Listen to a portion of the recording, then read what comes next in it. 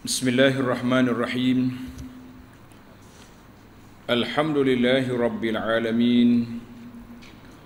والصلاة والسلام على المبعوث رحمة للعالمين.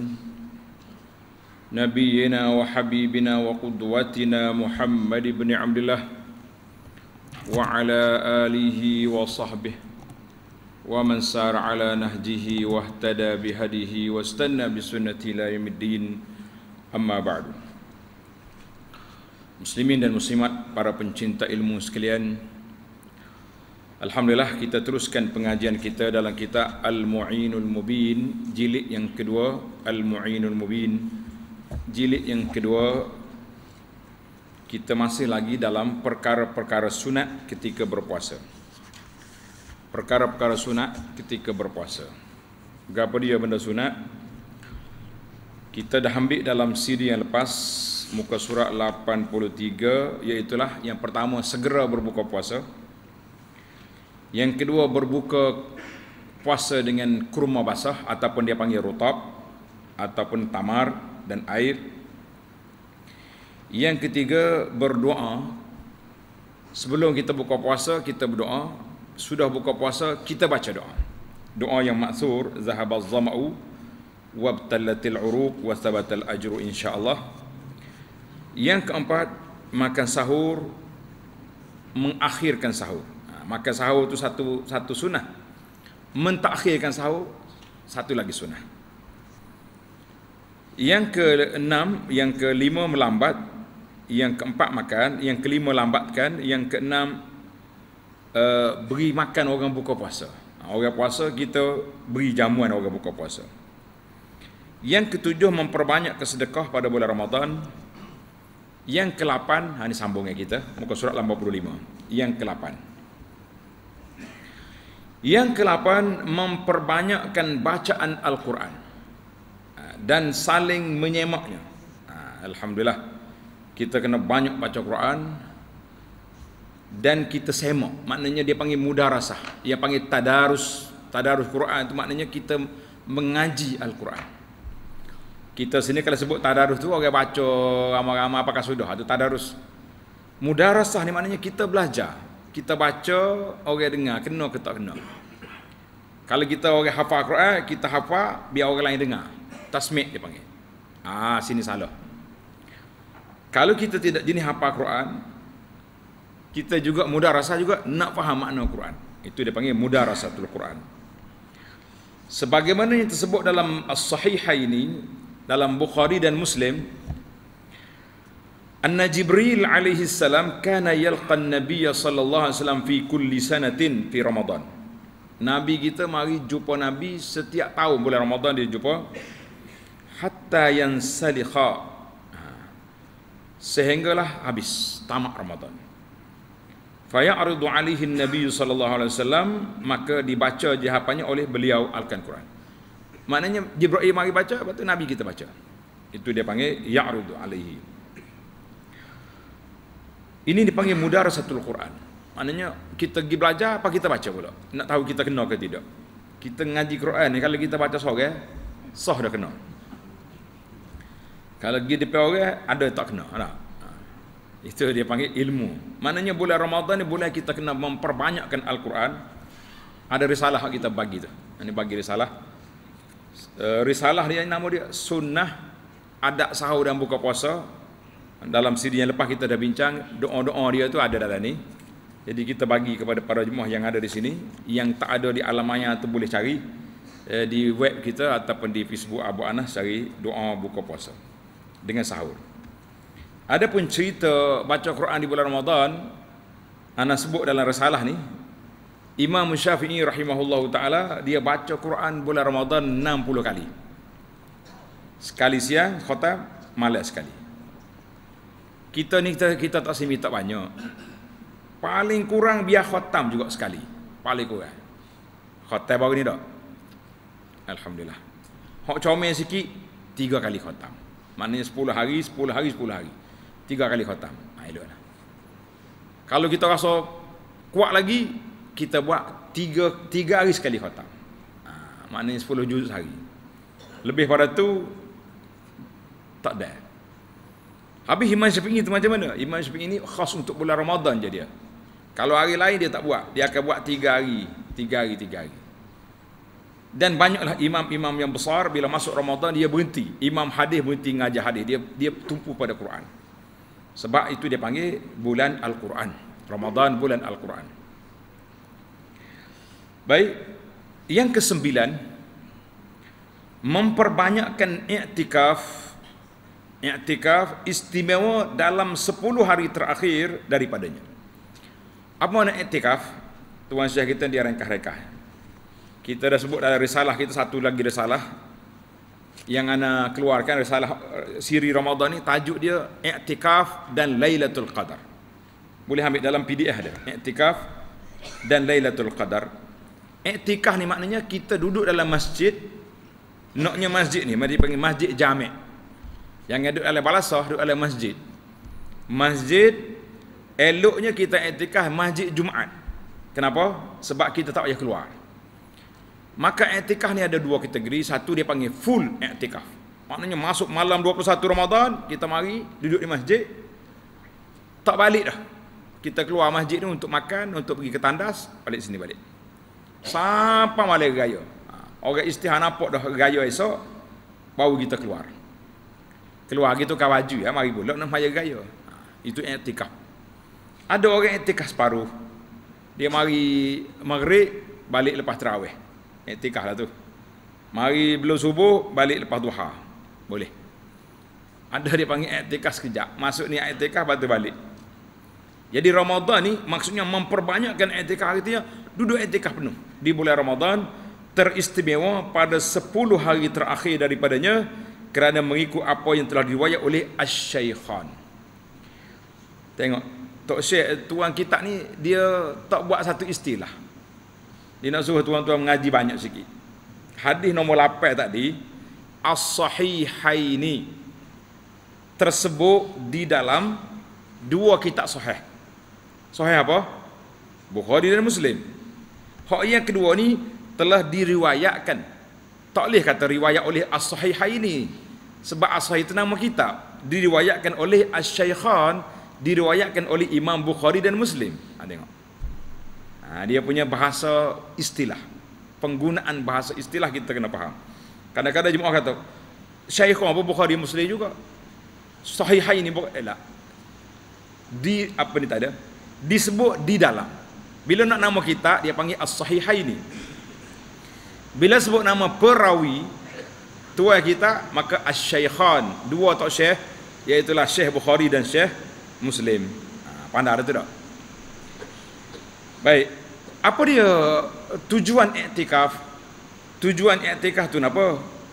Kerana iktikaf itu lebih dapat mendekatkan orang ke arah memelihara diri daripada segala larangan. Malah kita duduk dalam masjid kita tak tak, tak tengok benda-benda yang lara. Tak tengok orang perempuan muka dalam masjid tak capur tak dengar muzik yang nyanyi tak dengar dah. Dalam masjid tak ada orang pasal lagu. Ha, cuma bimbangnya kita etikah zaman kita ini alat gadget ni kita bawa juga. Ha, itu masalah. Kalau betul-betul nak etikaf kena pergi beli telefon cak ayam dia panggil. Hak 3310 ke apa? Eh? Hak tak ada gambar tu ha, tu biar ada hak tu dalam poket. Takut ada emergency rumah anak nak tak nak apa ni Eh, nak bagi maklumat payah ada kematian ke apa. Jadi kita boleh ada maklumat. Kita tahu apa yang berlaku. Kita boleh tanya khabar orang rumah. Apa khabar tu? Ha, sahur dah kedak lagi boleh. Tapi kalau bawa hot telefon hot comel-comel ni ada setengah orang nak pergi etikah tiga telefon dia bawa. Kata gua nak tiga tu mampu hot ni hot sambung hot ni. Ha, kata tidak etikah belah mana tu? Etikah dengan telefon tak apa kemah sebab banyak benda lara akan masuk dalam poket kita Maknanya kerana etikah itu lebih, lebih, lebih dapat mendekatkan orang ke arah memelihara diri daripada segala perkara larangan. Sepatutnya begitu. Bila kita etikah kita tak capur dengan orang, tak ada kacau. Dan melakukan segala yang disuruh.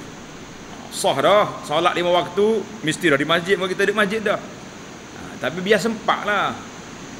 Duduk masjid, masbuk juga. Lah, Sepatutnya orang duduk masjid ni orang takbiratul ihram bersama sama tu imam. Ni dak orang ben nak komak dah puas gerak bangun weh. Komak dah baru bangun oh, baik mau tidur rumah. Ha. Bini gerak takut sikit dengan orang lain. Ha, jadi kita mana tujuan duduk masjid ni sebab nak ambil peluang yang besar cepat bangun uh, beribadah belum azan tu kita dah bangun siap dah alhamdulillah serta mengandung harapan ha, ini yang objektif yang ketiganya mengandung harapan akan bertemu dengan Lailatul Qadar. Mana malam malam ni Lailatul Qadar kita duduk di masjid dah. Tak balik-balik. Dengan qiyamul lailnya, dengan baca Qurannya, dengan tadarusnya, dengan istighfarnya, dengan taubatnya cukup. Diriwayatkan oleh Imam Muslim rahimahullah kana Rasulullah sallallahu alaihi wasallam yajtahidu fil ashril awakhir ma la yajtahidu bi ghairihi. Nabi sallallahu alaihi wasallam bersungguh-sungguh kuat beribadat pada 10 malam yang terakhir bulan Ramadan lebih dari beliau bersungguh-sungguh pada malam yang lain. Malam lain itu bekak dah kaki. Tapi malam 10 akhir lagi kuat. Lagi kuat. Kita kena ambil peluang lah. Khususnya kita yang tak ada tak ada masyarakat apa-apa ni.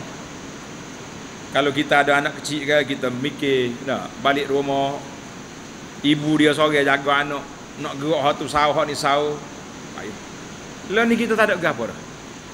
Balik rumah pun duduk sore juga.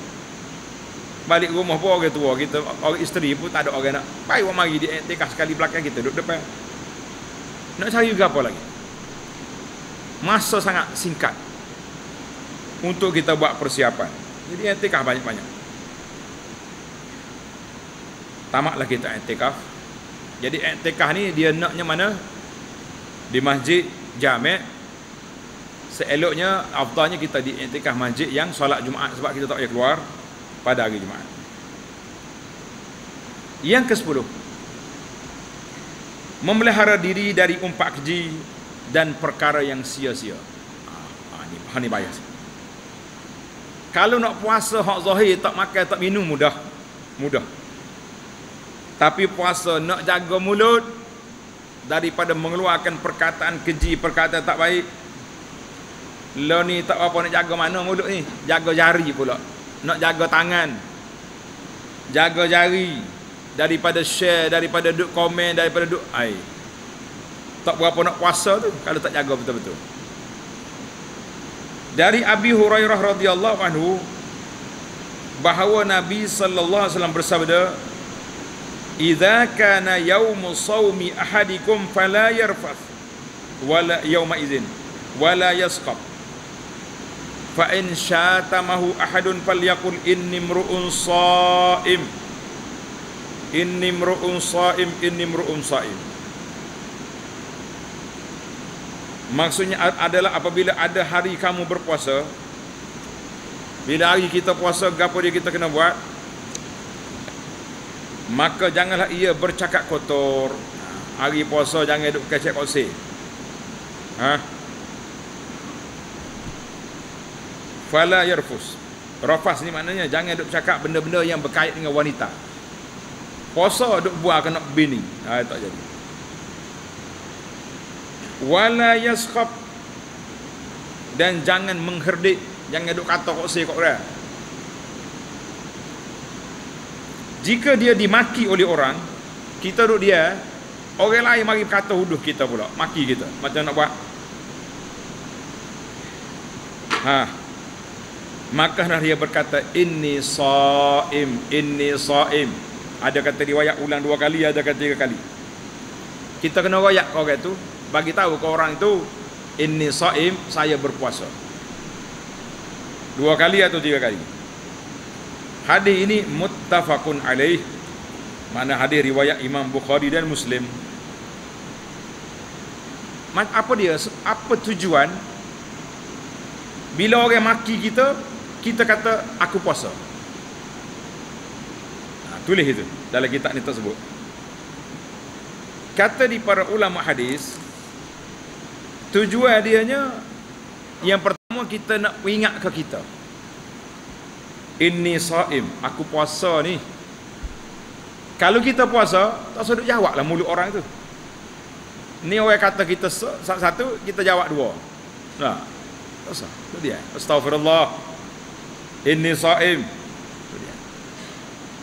Tujuan yang kedua, kata ulama hadis, kita nak peringat ke kawan tu. Mutak sudut kelahi dengan aku, aku puasa ni. Ha. Kalau bulan Ramadan, dia jawab, aku puasa juga. Ha, dia kata apa? Oh, dah sama-sama puasa, duduk dia lah. Puasa duduk balik. Ni kadang-kadang baluh bubuk bazar Ramadan. Oh tak tahannya, oh tak tahannya. Baluh tangga masjid, bubuk parking kereta. Ha, tu masalah besar. Hei, saya mari dulu. Saya tempat saya, tempat saya. Akhir kali berkelahi bulan Ramadan. Kelahi mana? Tangga masjid. Ha, benar. Ada satu kisah lebih berat daripada itu lagi. Berkelahi nak berebut sahawal. Ada juga lagi. Ha, ini dia panggil bahasa jenis uh, godaan ahli ibadah. Berebut nak sarpai sebab balas. Masjid kita ni tak balas lagi dah. Moga tak ada orang nak berebut mana. Tapi dalam banyak-banyak masjid kita lagi, masjid kita nampak sarpai lebih penuh cepat. Siapa kita sebut nak ke masjid lain, kata kita tengok kat masjid ni. Orang dia duduk sarpai belakang. Orang lain ni dia panggil badi tolok je masalah kita ni. Ha, jangan duduk kelahi. Maknanya kalau orang balok kelahi dengan kita, kita kata ini saim, jadi untuk dua. Bila kita kata aku puasa, kita pun ingat kita puasa. Tak usah jawab apa orang kata. Sabar. Ataupun kita kata ke dia, mudah-mudahan dia apa? Dia pula teringat oh, orang puasa. Kita puasa juga usah duduk kelahi gitu kan. Masing-masing sabar. Hadis yang kedua, sabda Nabi sallallahu alaihi wasallam, "Man lam yada' qawla az-zuri wal 'amala bih" falaisa lillahi hajatun fi an yada'a ta'amahu wa syarabahu Sesiapa yang tidak meninggalkan kata-kata bohong Boleh Ramadan pun bohong juga Mari duk tabur janji Tabur tu tabur ni Buatnya tidak Waktu nak jual beli Masih lagi cakap bohong Kono-kononya modal dia beli barang ni RM20 Padahal dia beli RM5-10 Allah Wallahi saya beli dah kita dengan orang beli ni gini ya. Kalau kita nak bagi bagi, tak saya bagi cakap maaf eh. Kita jual ni harga hok standard dah ni. Ha. Tak sedut tipu kata modal beli berapa. Dia tak tanya modal beli berapa. Ada kau orang kita tanya awak, awak beli berapa modal? Saya nak bayar kalau itu RM20 kita ambil RM2. Tak ada hak kita nak tanya modal orang. Tapi dia tu nak melariskan jualan dia cakap modal berapa. Bohong. Mulai Ramadan penipu juga. Tak masih lagi melakukan penipuan maka falaisa lillahi hajatun maka tidaklah Allah taala berhajat supaya dia meninggalkan makan dengan minum maknanya aku tak berhajat orang puasa macam ni bukan makna tak tak payah puasa tak payah puasa pakai terus lalu dosa besar artinya kalaulah kamu berpuasa tapi kamu beginilah sifat kamu Allah taala kata aku tak berhajat orang lagu ni nak puasa puasa sungguh-sungguh Hadis ini rawahu Al-Abu Dawud wal Al-Bukhari, rawahu Al-Bukhari. Tamaklah kita tuan syekh kita letak dalam kitab kita ni ada 10 uh, sunat-sunat puasa. Alhamdulillah ana ada sebut dalam risalah kita ni. Risalah Ramadan, amalan-amalan di bulan Ramadan kita bagi banyak kali dah. Nah, bulan Ramadan ada, lepas tu hilang pula. Ni yang kedua ni dipanggil sunat-sunat ada sahur dan iftar. Ah ni tak apa, kita bagi selalu. Sebab tuan-tuan puasa ni bukan nanti Ramadan je. Hari Isnin hari ni kita puasa. Hari Khamis puasa. Jadi adat ni terpakai sepanjang tahun insya-Allah. Baik, kita berpindah kepada masalah tasawuf. Isu tasawuf dalam puasa. Ha, ni. Tasawuf ni sebenarnya akhlak lah. Isu akhlak dalam bulan puasa maka puasa itu terbagi kepada dua bahagian. Puasa terbagi kepada dua bahagian. Yang pertama dipanggil puasa umum. Puasa umum ni macam kita ramai-ramai lah. Iaitu memelihara perut dan kemaluan dari segala kehendak dan keinginannya. Segala nafsu nak pada siang hari Ramadan kita tak makan dan tidak melakukan jima dengan isteri walaupun isteri itu isteri dia Tapi oleh kerana syariat larang, maka dia tak buat. Jadi hak dua ni ni mudah. Mudah. Puasa dua ni mudah. Oh jangan tak makan. Tidak duduk dengan isteri, lepas jadilah puasa dia. Maknanya kita kata puasa kategori yang pertama ini puasa secara fizikal. Secara fizikal. Mana tak buat benda yang batal puasa. Tambah pula dia pula pergi tidur ya sehari tu. Bangun solat suruh tidur pula. Bangun masa tidur pula. Lagilah tak ada apa-apa. Nah, itu kategori yang pertama. Kategori yang kedua dia panggil puasa al-khusus. Puasa al-khawas ataupun khusus istimewa. Hak istimewa, hak, hak apa ni darjat tinggi apa dia? Iaitu memelihara perut dan kemaluan. Saya salah ni. Hak ni sama zahir dengan batin memelihara telinga, mata dan telinga. Mata tak tengok benda benda karut. Telinga tak tengok, tak dengar benda yang tidak baik. Hei, dia kata ustaz, mana kita tengok benda tak baik? Saya tengok cerita Nabi. Cerita Nabi berlawan dengan Abu Jahal. Sebelah Abu Jahal ada bini dia. Bini dia tu tak aurat ada. Bini Abu Jahal tu tak aurat. Patah awak tengok tengok perempuan. Baik ke tak baik? Oh, cerita Nabi tak baik juga ustaz ni. Pas nak tengok apa? Ha, sedap dia baik. Nya celek mata mari dah. Nak tengok apa? Tengok Quran, bukan suruh tengok cerita. Yang peliknya maka orang TV dengar. Eh, luar musim Ramadan, cerita Nabi ada ke tak? Tak ada pula. Mari nak kaca kita baca Quran tu buat apa? Ha. Kita buka baru buka Quran nak mari. Bah, Mak, cerita Nabi mari dah. Berhenti baca Quran, tengok cerita. Ha, godaan.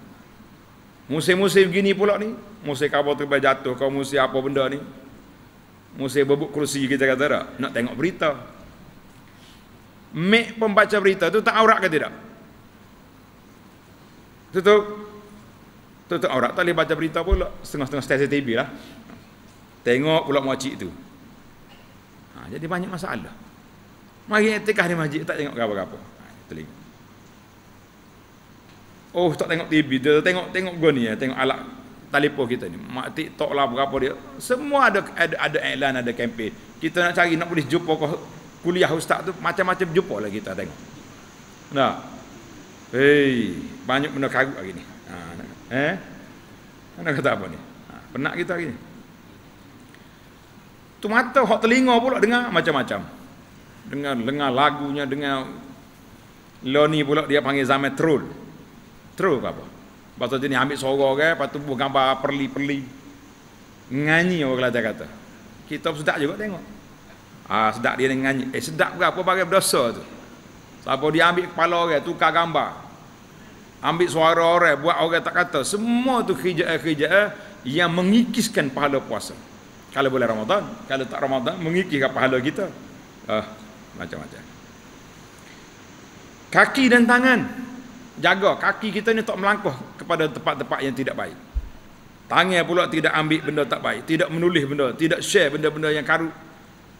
Pendeknya, ha mudah gitu ya, tu saya kata. Hak pendeknya tak sedap cakap banyak.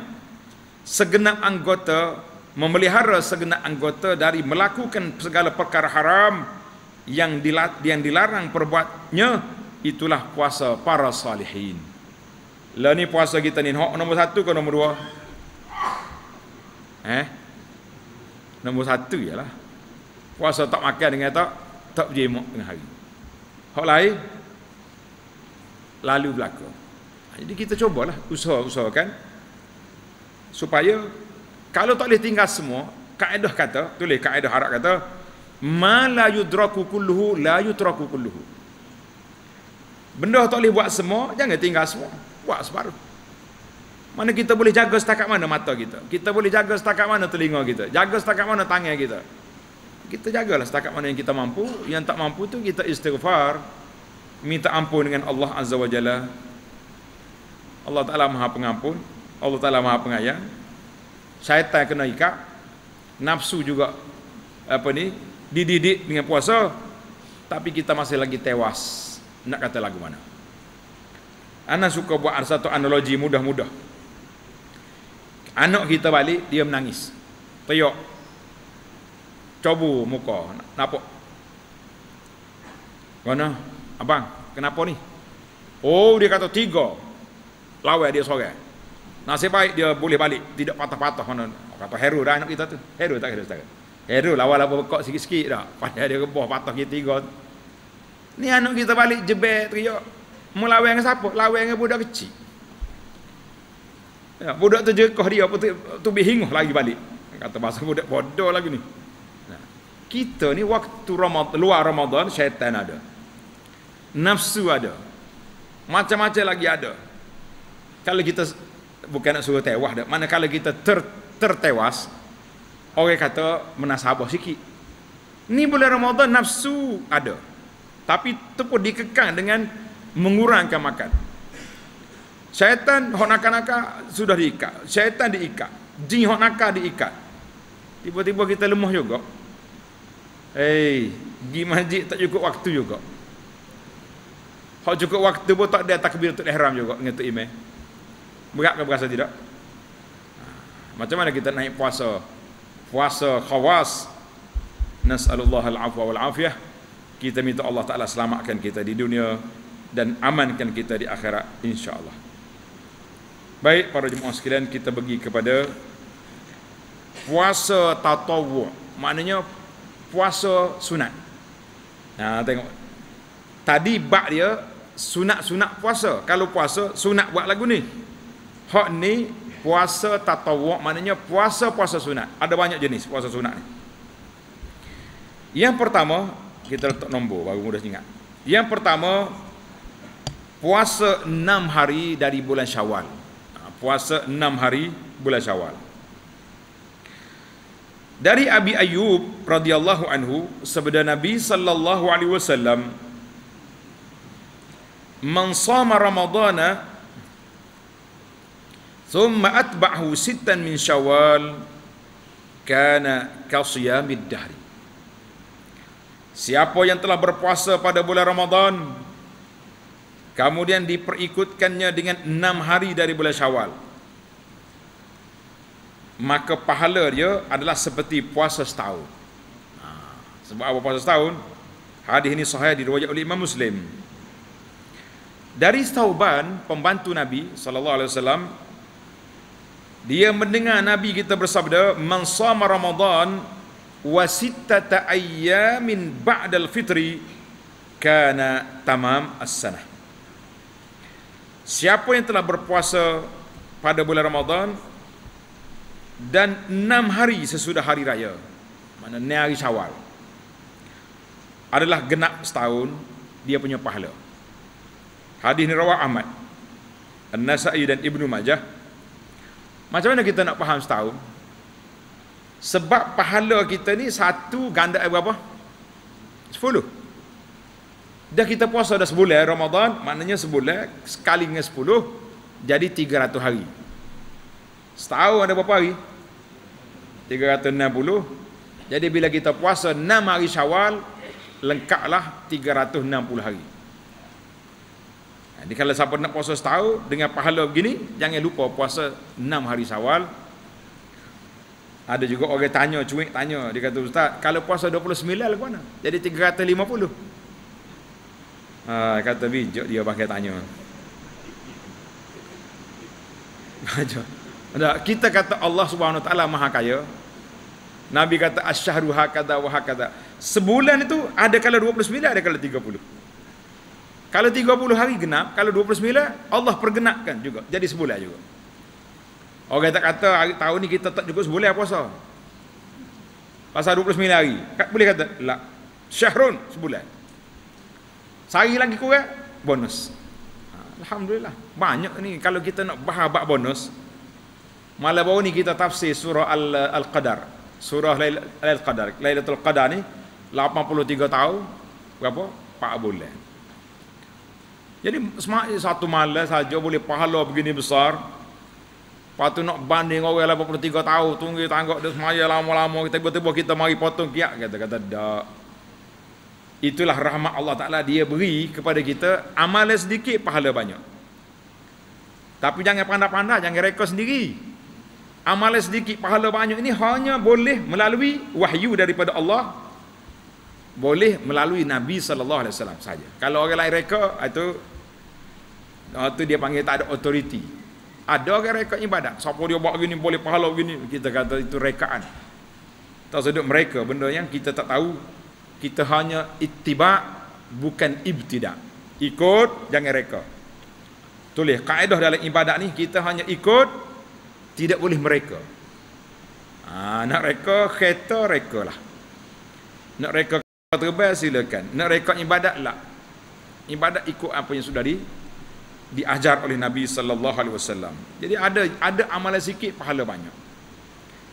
Ha, jadi alhamdulillah yang penting bagi kita para jemaah maknanya kalau hari 29 kita kena puasa 7 hari. Ada riwayat 7 hari? Tak ada. Kalau ada, sah Nabi kata. Imma sita wa imma sabah. Mau puasa ni hari atau puasa tujuh hari? Ada. Maknanya sebulan sebulan 29 atau 30. Yang tidak yang 29 kita kata alhamdulillah Allah Taala beri ganjaran satu hari bonus. Kita kata walillahil hamdu minnah. Alhamdulillah itu puasa Ramadan. Kita tak nak bahas panjang lah sini. Ada, nak qada dulu ke puasa dulu ke kita dah bahas panjang dalam tajuk yang lepas. Baik, kita berpindah kepada yang kedua. Puasa yang ada dalam sunnah Nabi yang sabit yang kedua iaitulah puasa hari Arafah. Ha, puasa hari Arafah dari Abi Qatadah radhiyallahu anhu bahawa Nabi sallallahu bersabda saumu yaumi Arafah yukaffiru sanataini madiyataini wa mustaqbalah. Puasa pada hari Arafah puasa sunat menghapuskan dosa dua tahun yang lalu dan yang akan datang. Mana dua tahun? Setahun sebelum, setahun selepas. Hadal hadis rawahu Muslim. Jadi dia panggil kafarah. Kafarah ini menghapus dosa. Dosa-dosa kecil. Dosa besar kita kena taubat. Dia tak ada yang puasa sunat. Jadi hari Arafah ni bila? Hari yang ke-9 Zulhijjah setiap tahun. Cuma timbul timbul sikit soalan macam baru ni berbeza kan? Beza waktu Arab wukuf di Arafah dengan hari hari Arafah sini. Ha, jadi timbullah soalan kita nak ikut Mekah ke nak ikut sini? Tak habis dah. Anak kalau tengok beza hari hari wukuf ha, pening dah. Kata banyaklah soalan. Ha, dia mari. Soalan pening dia panggil. Pada tak payah pening-pening dah kalau kira banyak banyak tahu dah lalu maka kita mengatakan bahawa kita ikut di mana kita berhari raya mana kalau kita hari raya sini hari hari hari, hari Senin, jadi kita puasa hari Ahad. Walaupun contoh orang Mekah mungkin puasa hari Sabtu sebab dia hari Ahad hari raya. Kita tak ikut dia, kita kena ikut kita. Ha, cuma untuk menyelesaikan masalah supaya hilang segala was-was hari 8 hari awal Zulhijjah. Ingat kan? Kita dah kempen dulu di antara hari yang terbaik untuk kita beribadat. Jadi sukai oleh Allah Azza wa Jalla bila awal 10 awal Zulhijjah. Hari 8 termasuk ke tidak? Ada puasa hari 8. Dia kata ni Arafah kau. Tak boleh ni Arafah lagi hari 8 hari Arafah apa hari 9 Arafah. Jadi kita niat puasa sunat hari tu. Karena kalau kalaulah hari Arafah dah pun kita masuk dah. Ha, tapi hari Arafah pagi tu kita puasa pula esok. Mana kalau puasa dua hari ni confirm lah jumpa hari Arafah. Nah. Hari raya tak boleh puasa. Habis kenapa dalam hadis dalam hadis Nabi sebut apa? Dalam hadis Nabi kita sebut apa ni? 10 hari awal Zulhijjah hari terbaik. Tapi hari raya kenapa tak dipuasa? Kita kata tuan-tuan dan puan-puan jangan lupa hari raya ada ibadat khas. Apa dia ibadat khas? Iaitulah solat hari raya dan sembelih kurban. Dalam surah semalam kan kita baca. Inna atainakal kausar. Nah, fasalli li rabbi. Sehingga ulama mengatakan bahawa ibadat yang disyariatkan pada hari itu kalau diganti dengan benda lain tidak akan terganti. Air raya kita disyariatkan apa? Sembelih korban. Korban ni kalau kita sembelih seekor kambing berapa harga? Kambing hok comel hok gemuk ni. Tanduk 800 ribu leceh Hari raya ni orang main darah-darah ni kita nak beraya tak. Kita ambil 5000 sedekah hari tu. Tak sama dengan kita sembelih korban. Please. Sebab yaumu an-nahri. Hari ni hari sembelih. Apa tu dia kata hari yang diperuntukkan ibadat kepadanya tidak boleh diganti dengan benda lain. Kalau ganti tidak jadi. Itu dia panggil kelebihan setiap benda. Ha, jadi Ramadan ni puasa. Hari Arafah hari kita puasa. Kecuali orang di Arafah tidak digalakkan puasa sebab nak suruh kuat ibadat. Itu khas untuk dia. Berapa kali kita pergi Arafah. Eh? Dalam seumur hidup ni, kami akan ramai di kalangan kita baru sekali baru lagi. Ada dua kali. Jangan tanya abu anak, Allah Taala beri rezeki dia banyak. Nah, nah, tahun ni kalau ada rezeki kita pergi lagi. Nah, itu yang pentingnya hari Arafah hari puasa. Kau sudah dua kerja lain. Ini masyarakat kita ni kadang-kadang tidak faham masalah. Hari Arafah itulah dia nak jamu. Alah gola gitu. Orang masjid pun kalau kalau pala pagi lagi nak ikut tu email ke ikut orang jemput. Ha. Kalau tu email tak pergi ke orang kata tak masyarakat pula email ni. Ni memorandum dia mau minta tukar pula. Tu email pergi tak puasa. Jadi masalah. Dilema kita. Hak comelnya masyarakat ni faham. Hari Arafah ni hari puasa jangan duk buat kenduri. Nak kenduri kita buat hari raya. Kita buat hari raya daripada pagi sampai sampai hari yang ketiga ni kan. 4 hari. Empat hari. Hari raya dengan tiga hari tasyrik. Tidak boleh berpuasa hari itu. Nak warak setara mana tak boleh puasa. Cuma ada khilaf tentang orang yang tidak ada dam. Orang haji tamatuk orang tak ada dam. Itu ada khilaf sikit. Itu pun untuk orang haji bukan untuk kita. Kita sini tak ada. Mari kita ambil satu lagi. Sebab kebetulan musim dia dah ni. Kau habis dah. Iaitulah yang ketiga puasa hari Ashura. Puasa hari Ashura. Dari Abi Qatadah radhiyallahu anhu sabda Nabi sallallahu alaihi wasallam Saumu yaumi Ashura yukaffiru sanatan madiyah Puasa pada hari Ashura iaitu 10 Muharram. Ingat, hari Ashura 10 10 Muharram. Arafah 9 Zulhijjah menghapuskan dosa setahun yang lalu. Hari Ashura setahun, hari Arafah dua tahun. Ada hadis rawahu Muslim. Ashura ialah hari ke-10 dari bulan Muharram. Dan dari Ibnu Abbas radhiyallahu anhuma bahawa Nabi sallallahu alaihi wasallam bersabda, "Sumu yauma Ashura wa khaliful yahud. Sumu yauman qablahu au yauman ba'dahu." Diriwayatkan Nabi kita bersabda, "Berpuasalah kamu pada hari Ashura dan lainkanlah dia dengan gaya Yahudi." Yahudi puasa bila? Sehari hari Ashura.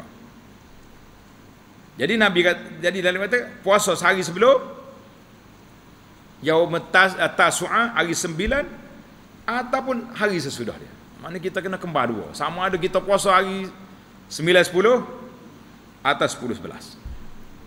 Ha, jangan jangan ambil satu hari sebab satu hari itu Yahudi besar sangat. Yahudi ini membesar sangat hari Ashura. Hadis ini riwayat Imam Ahmad. Hadis riwayat Imam Ahmad penilaian Syekh Ahmad Syakir dalam tahqiq musnad dia kata hasan tapi Syekh Arnaud dengan orang lain kata la sanad dia dhaif Allahu akbar jadi yang pentingnya larangan puasa ada hadis lain yang lebih sahih bila orang mari repot ke Nabi sallallahu alaihi wasallam ya Rasulullah innal yahud Yahudi ni yu'azzimun sangat membesarkan hari Ashura macam mana kita ni? Maka Nabi sallallahu alaihi wasallam bersabda kalau aku hidup lagi pada tahun depan la asuman aku akan puasa pada hari sembilan. Jadi oleh kerana Nabi nak puasa kita puasalah hari sembilan dengan hari sepuluh. Sesungguhnya telah menjadi muskil tentang penghapusan dosa setahun yang akan datang padahal dosa itu belum berlaku ha ni soalan menarik soalan tekan dalam hari hari Ashura tak boleh setahun yang lepas uh, hari Arafah tadi. Setahun belum selepas. Hak lepas tu kita buat dosa lagi. Macam mana boleh hapus? Tengok soalan dia. Ha, soalan dia bagus. Kita kita ni kadang-kadang dia cuik benda tu rasa nak tahu kita. Betul tak?